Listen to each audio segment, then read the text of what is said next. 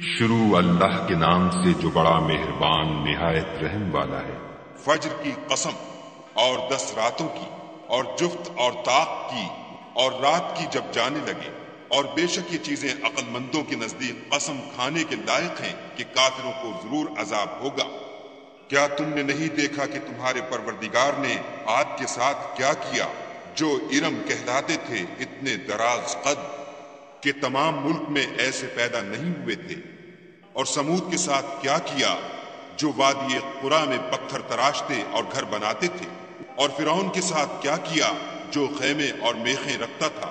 ये लोग मुल्कों में सरकश हो रहे थे और उनमें बहुत सी खराबियाँ करते थे। तो तुम्हारे परवरदिगार ने उन पर अजाब का कोड़ा नाजिल किया।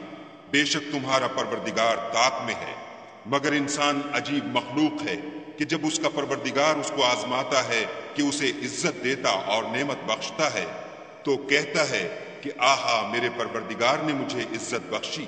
और जब दूसरी तरह आजमाता है कि उस पर रोजी तंग कर देता है तो कहता है कि हाय, मेरे परवरदिगार ने मुझे जलील किया।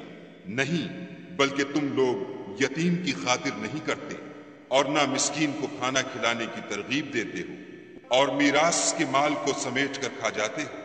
और माल को बहुत ही अज़ीज़ रखते हो तो जब ज़मीन की बुलंदी कूट कूट कर पस्त कर दी जाएगी और तुम्हारा परवरदिगार जलवा फरमा होगा और फरिश्ते कतार बाँध बाँध कर आ मौजूद होंगे और दोजख उस दिन हाजिर की जाएगी तो इंसान उस दिन मुतनबे होगा, मगर अब इंतबा से उसे फ़ायदा कहाँ मिल सकेगा?